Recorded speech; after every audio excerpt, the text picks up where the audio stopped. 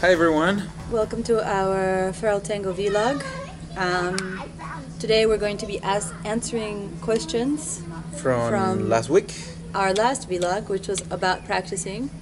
Now, these questions are a little bit not completely about practicing all of them, but we'll answer them anyway, and hopefully they won't open a can of worms, or maybe they will. I don't know. Yes.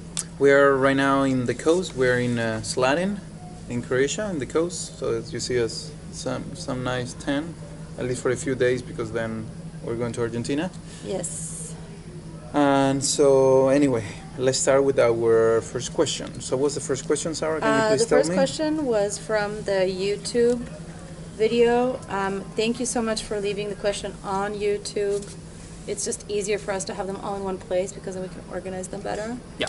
Um, so this question was for Ivan, and the question was Mhm. any follower, any leader technique videos that he would recommend.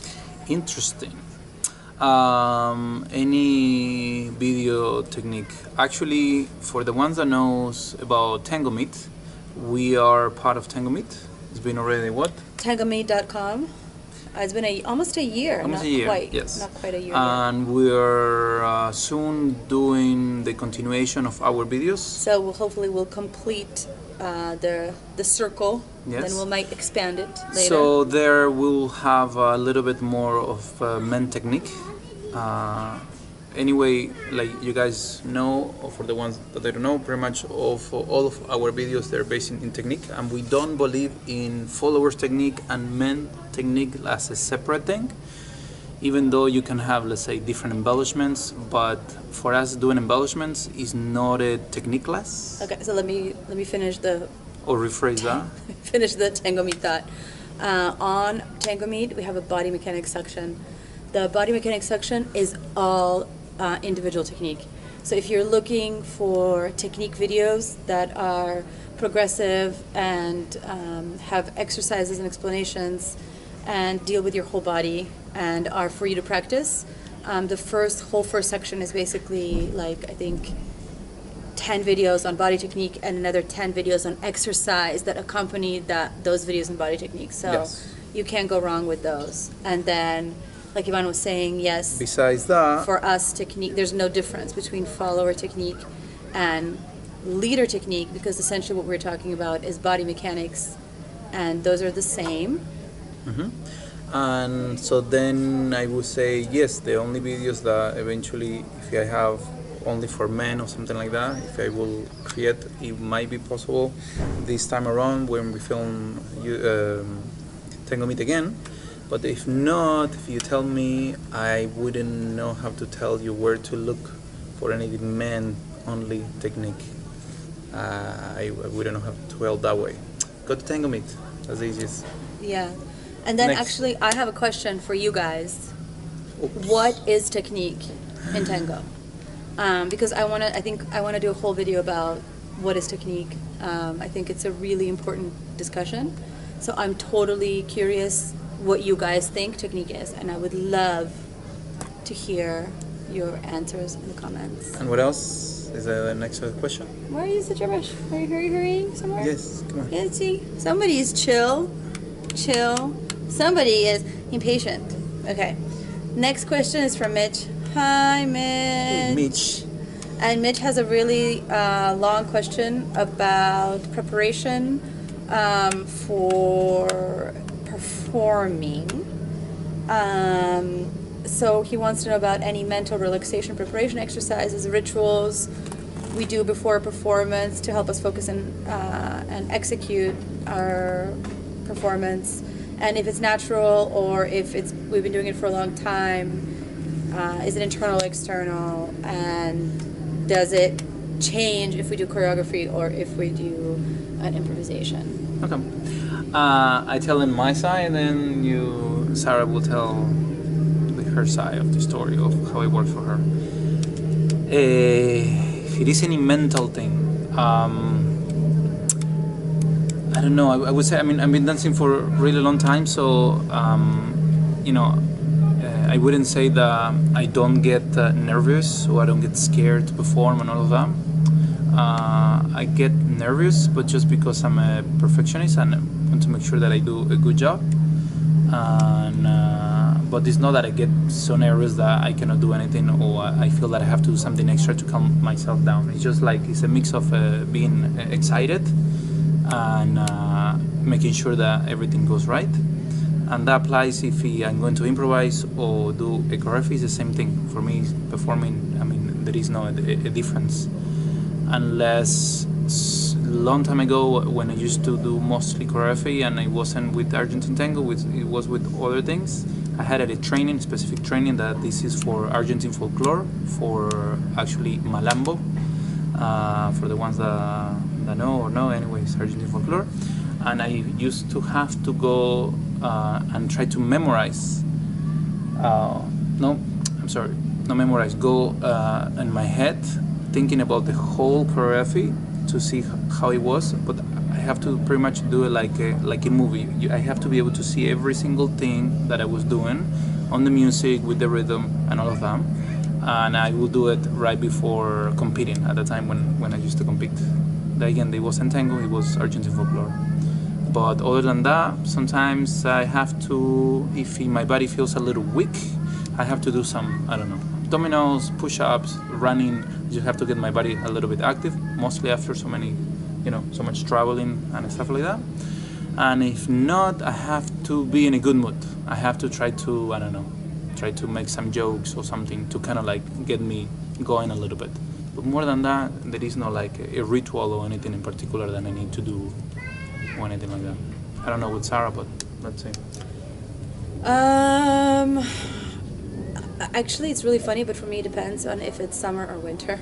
it sounds really crazy, but it's true. If it's summer and my body's warm and loose and open, then I have to do a lot less than if it's winter and I'm cold and my muscles are tight. Also, if I'm sore or if I'm not sore, it's really, it's really, really different. So it takes me a super long time to warm up. It takes me like I don't know, an hour um, to warm up. So, um, like my body has to feel like it's like soft but strong, and that if I'm standing on the ground, I have to feel like I can push through the ground down. If I feel like I I'm pushing the ground and I'm on top of it, it's not gonna be a good day. So that's one thing. Uh, another thing for me is uh, my memory is like super bad. I'm a re- I have really bad, really bad memory for choreography. Um, it's kind of strange because I can do the choreography for like a year and then I don't do it for two months. And the first time I do it, I have to literally like go through it to remind myself of what it is. Um, and then after that, it works again. But uh, I get a lot more nervous if I have to do choreography than if we have to improvise. Um, for improvisation, I feel much more like free than with choreography. Um, and I used to get super nervous when we first started performing. Uh, I would get super, super nervous. So we should do a video, Ivan, about our first performances. Okay, and We'll then a we'll bu- talk we'll- about yeah. We'll so anyway, so I used to shake like crazy. I used to shake so much when I was performing that I would like shake Ivan. Uh, that thankfully, thank God, never happens anymore. But um, um, that just came through experience. Like I did it enough that at some point I stopped getting nervous. But it's really, really good, important for me to warm up my body. If my body's warm, nothing works. And the second thing that's important is, like Ivan said, is to be in a good mood or be uh, be happy uh, or be confident. If I don't feel confident, then I don't take as many maybe risks, and then it shows because my body doesn't look stretched. It kind of the, the energy that comes out is not right. So I guess those are important things. Can I show them something really cool? What? Hey, sunset right now. One oh second. my god. Okay, yeah. So, and this is like a little a little distraction, but Let me see if we can see it. This is where we are.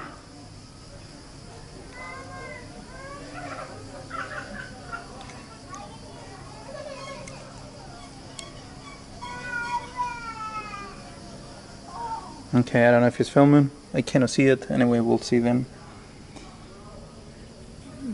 Trying to disconnect from the camera. Anyways, well, hopefully we got it. because it's amazing. It's one of the most beautiful sunsets. Okay. Um, good. Next Next question. Next question is from Johnny. Uh, Johnny, you wrote really funky questions. Johnny. Uh, classic figures comparing traditional versus untraditional approach to molinetes. Should you learn from one teacher or many classic figures? I'm not sure what you really. What you mean, like uh, what we? So I'm gonna skip that because I'm not sure what classic figures mean. Um, comparing traditional versus untraditional approach to molinetes.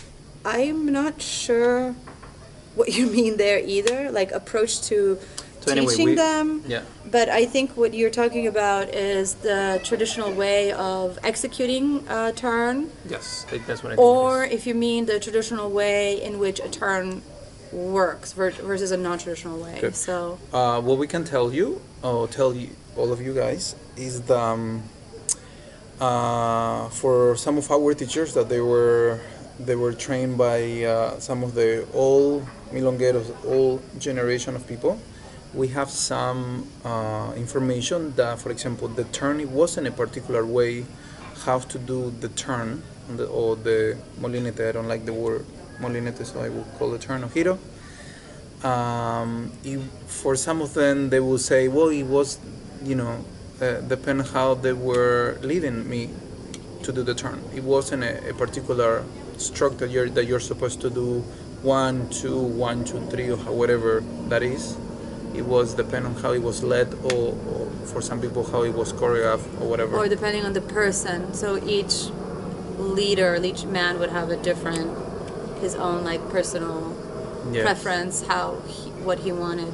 So Yeah, for some people they use they, uh, you know, they do the turn either that all the timings are even.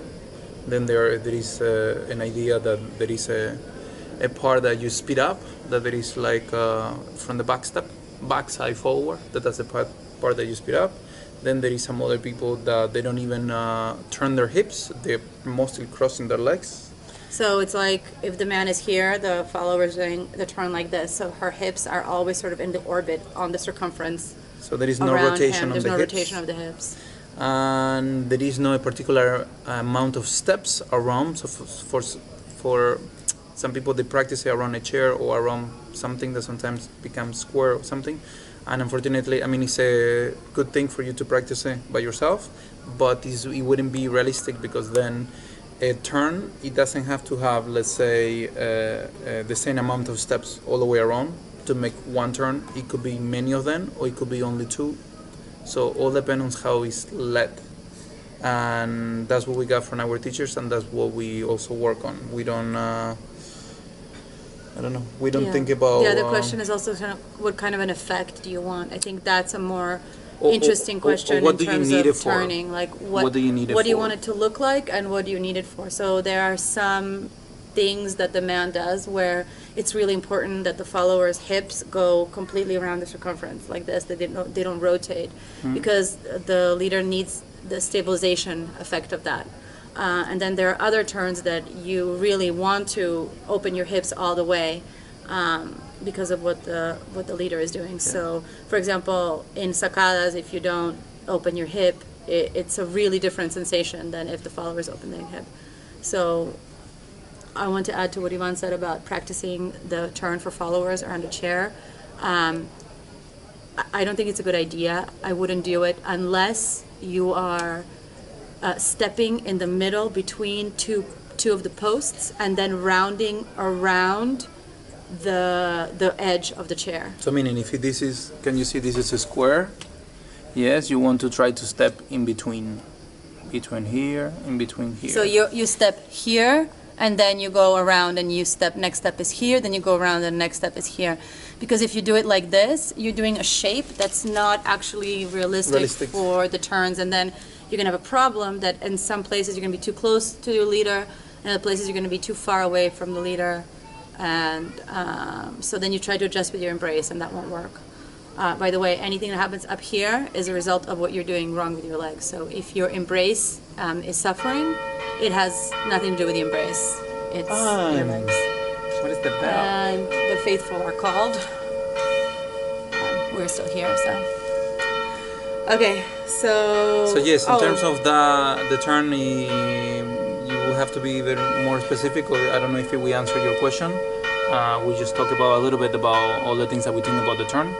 yeah, there. Are uh, I mean, we can talk about turns for for Yeah, there eons. is there there there are many ways how to do the turn.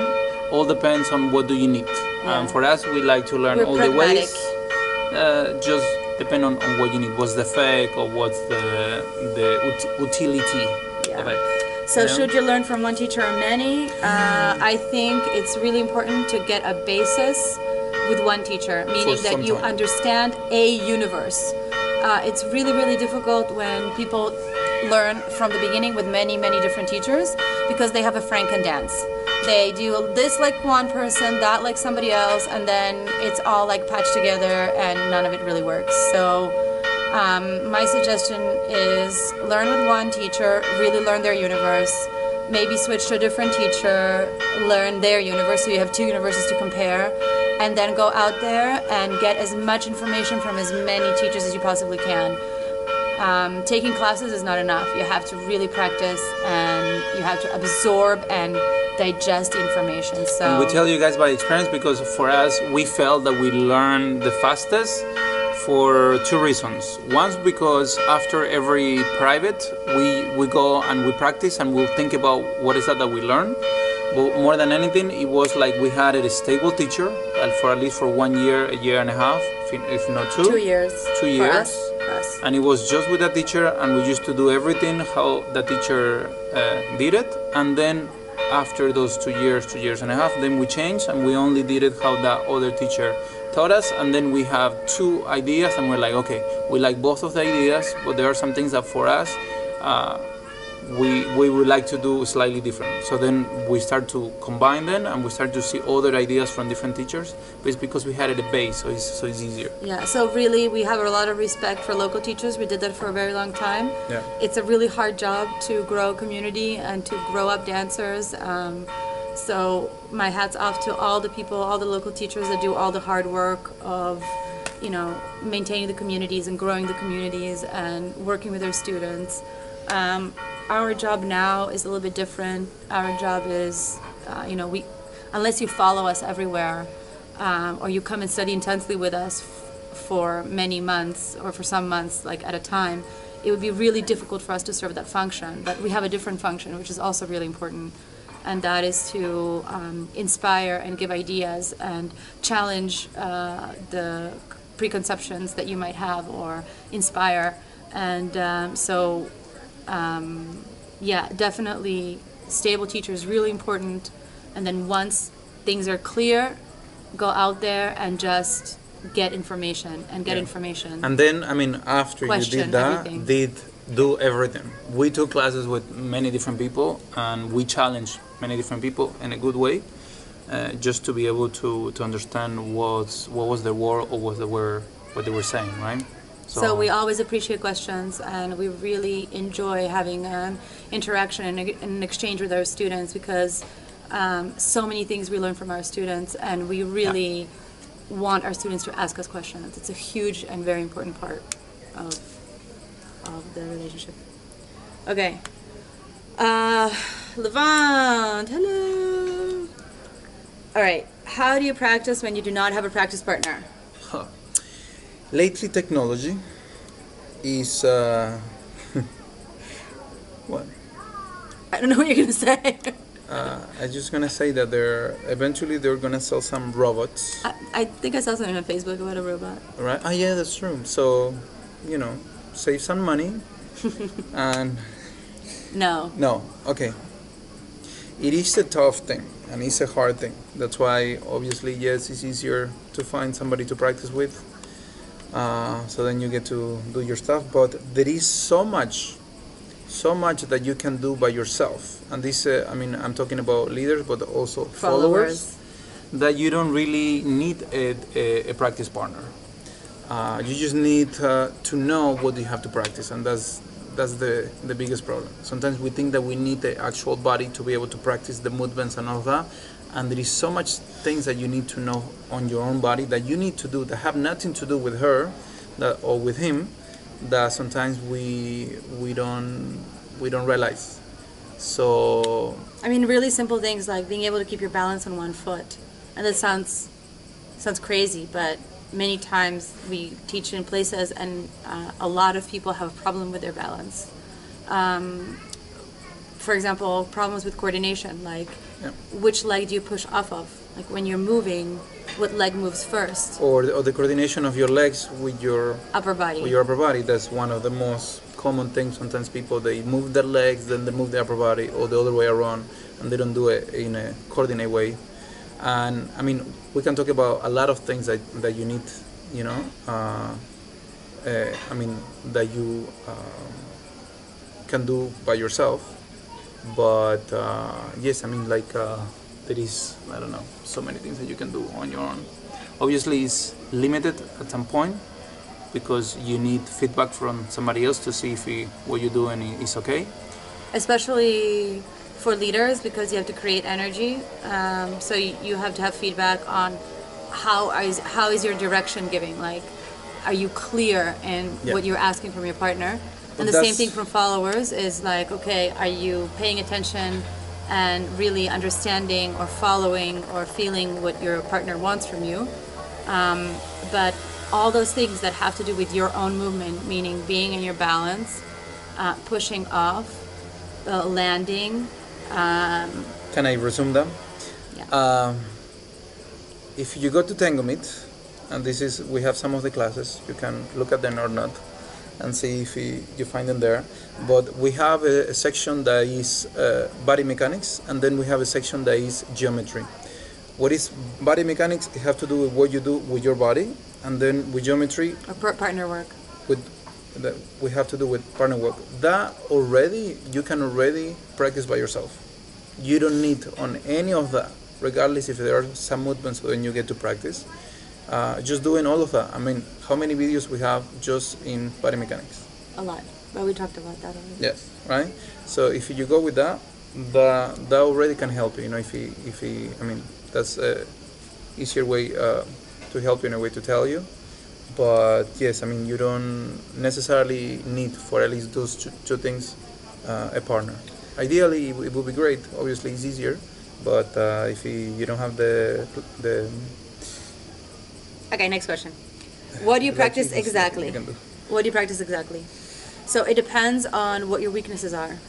Um, it depends. You know, if you can't stand on one leg, you have to practice standing on one leg. If you have a hard time uh, turning, you have to figure out uh, how to be able to stand on one leg and stay in your balance as you complete a turn. I mean, it sounds obvious. Yeah. But in general, it's like uh, the, I mean, the question is m- mostly for how I see. It's like some people they don't really know what they have to work on.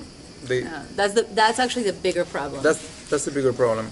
And sometimes uh, I don't know what what you can do is literally go take a private with your with your teacher or, one of your teachers or whatever you, you you know you think that that can help you, and then see what they tell you, and then from from there from what they tell you that is your problem, uh, you can work on it. You can. it's really easy to kind of um, fool yourself and think like, oh, but this is, I, of course, I can do all this stuff in my body and everything is fine. And then, you know, most of the time that we teach people, they don't have tango problems. And it sounds weird. They don't have tango problems. They have body problems. Like most of the stuff that's an issue to do is not because they can't do it in tango. It's because when they're trying to do it by themselves, they just can't do it. Yeah. So And sometimes again, when when I say by myself, because um, when we say that, uh, there are some people that you'll see them and then they go like, "Look, I'm doing it all by myself," but they they don't put in uh, in uh, in how do you say like as a count, thinking where the partner is. So when you practice by yourself, you, you also have to think about it that if your upper body is supposed to face your partner, you have to try to do the exercise thinking that you You- have some other person that you there have somebody in the embrace with you. because that happens all the time. People they go into turns and then they do this. They swing their upper body like crazy and then they turn. It's like you see, I can turn. I It's have no brilliant problem. and perfect. Good. And now try with your partner. And of course, what's gonna happen is gonna grab the partner, drag him around, and try to turn, and it's not gonna work. So then, when you practice by yourself, that's one of the things that can help you. Think about where is your partner and what is necessary. So then, uh, one of the exercise turn your upper body, stop your upper body, don't turn anything from your upper body, and try to turn your lower body. Try to see if you can do that. But really moving. stop, like count to two, don't move that at Don't all, move and see if you can top, rotate and see if you can rotate under. Just to give a, an example, right? But you had a, you had, uh, his additional point was like, you know, if I want to improve the speed of the walk, slow down so you can feel your muscles. Yes, absolutely. And another thing is, if you can do something in slow motion, then you will be able to do it fast. Yes. So for for us, the slow motion is like the test of, is it going to? And slow motion, it literally, I mean, you can start, let's say if we, we pick uh, the beat in tango, you can try to first only step on the one, which is something that we do with many of our students. Try to walk only on the one. One, two, three, four, one. But try to maintain it evenly. And whatever you do, whatever movement you do, try to maintain it that everything is even, even, even, even. So there are no accelerations no in the landing or in the takeoff or in and the there is middle. no moment of you waiting. Stopping. You wait, one, two, three, four, and then you step. You're already No. stopping. Everything it have to be even. So that's already something that can help you. And if you're good stepping only on the one, do it every two ones. Every three ones. Really challenge yourself. Yeah, Um, that can help you to uh, find control in, in your movements and eventually when you're gonna do afterwards. Um, then a question: What needs to be practiced right after a private or a seminar? The same concepts or or different ones. So what we did is we would take a class um, with somebody, a private or something, and we would get a correction like step here, don't step there in this movement, and then it would work. And then we'd be like, okay, though this is great. So this movement belongs in this class of movements, more or less, right? And then we would try that correction in every single movement inside of the same class. And it sounds crazy, so, but we were crazy. So, for example, uh, I learned a back sacada in, in the side step, you know, or the open step of the follower, and I learned it on my left leg, right? So, okay, we did it, and the correction it was just be careful, um, not to, let's say, not to put your heel down on the back step. Okay, good. So then we did that, and then it's like, okay, we finished the class, and now let's try to see which other steps, right? I can, I mean, she can do, and I could do the same back sacada. And then it's like, okay, besides the side step, which other step you have? Forward step, let me do the same thing, and to see if the correction that they give me also applies. And like that, we also did it to the other side. Meaning that if I was doing it with my left leg, then I'm going to change to do it with my right. To see if it, the correction also applies to that. Once that, that also happens, we're like, okay, now I'm doing the sacada while she's doing either a forward step, a side step, or a back step. So let's change this around. Now, Sara, I'm going to lead you to do a back sacada to me in the open side step for me, and then forward and back, and see if the same correction that they told me applies for you. Yeah, so it's what's nice about doing it that way is first of all you figure out what corrections are real, um, have a real effect, like what which ones are um, uh, just uh, correlations, and then which ones are the the the causation of, the problem, like which you know which correction resolves your problem and which correction is just related to the problem, but something else resolves it. So that was really helpful. And then the other thing that it did is it kind of forced us to practice a lot of different types of movements just from one single correction. And literally, you know, from one private class, we, we would spend at least four or five hours working. So if we had one private class a week, because that's all we could afford, we were really poor. Um, and thank you to our teacher who gave us discounts and loved us at that time. Um, we would really multiply that. Like we would multiply that hour into because into more. think about him like uh, at that time for us it was like okay we don't have enough money so in that one hour we have to ask all the questions that that we need or at least the most important ones and then after that we really we really have to work on this because we don't you know i cannot come back and ask the same question again i mean i can uh, ask the same question but I, I, I- have to be able to have a question. And if the question is like, okay, so how do you do the back sacada now to the forward step?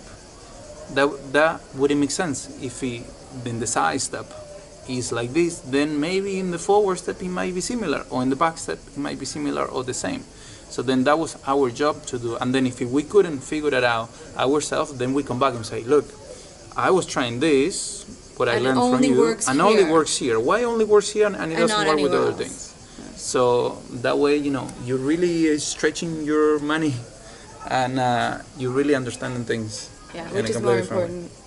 Uh, and then the last question, the last question is when you cannot dedicate consistent hours and you only have three hours a week to practice, how do you identify and plan what to practice in order to increase effectiveness? Uh, we talk about a little bit about this in the other video about how to practice, and it has to do with quality of time versus quantity. Yeah. But um, if you, you know, most people, like, why do people get a personal trainer in the gym? A lot of people get a personal trainer in the gym is because they need someone else to hold them accountable. Um, In the sense that, like, they they need to have an appointment for to to go to the gym and someone to watch them while they do the exercises. I think most adults are smart enough to do an exercise prob- program on their own. But sometimes what we need is like uh, somebody there that will say, "Hey, you didn't show up to our appointment," or make sure you know our appointment is at this time. Yeah. So one way to to do this, to only have let's say three hours, is maybe try to find a teacher and have one hour private every week, and um, have that teacher help you plan out over the short, the medium, and the long term the plan that you're going to go. If you're self motivating, um, and you know some people are, some people aren't, then maybe you know um, go to see a teacher um, and do, do a plan with them. But then you don't need to do the weekly private classes. You know, go to private, take a private once every two weeks or once a month, just to make sure that you're on the right track, that you're not practicing stuff incorrectly. Uh, have somebody check you. Uh, I think that's probably the best use of three hours. So you have one hour practice, and then the other two hours you dedicate to whatever it is that you came up with uh, with your with your teacher. Um, anything else? I don't know. I hope you answer everybody's question. I mean, on all the questions, guys, we can go and do a full video of each question.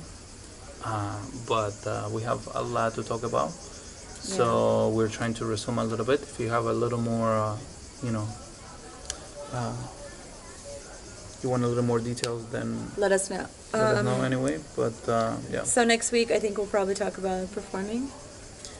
We can talk about performing. There is so many things. And uh, when are we going to start with the gossip? That's the most important Oh part God, of all of this.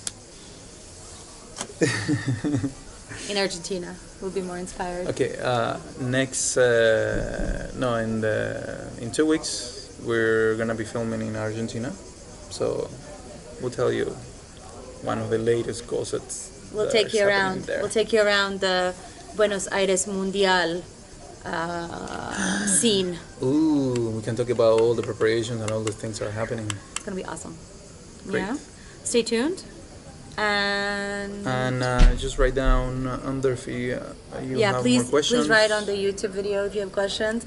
If you for some reason don't want to log into YouTube because you're lazy, then just write in Facebook. But YouTube's better. Yeah, it will help us that you subscribe, so then we we know who's connected. Yes. So Thank anyway. Stay in touch and we'll talk to you soon. Let's see if now we get a better view, as we say. Bye bye.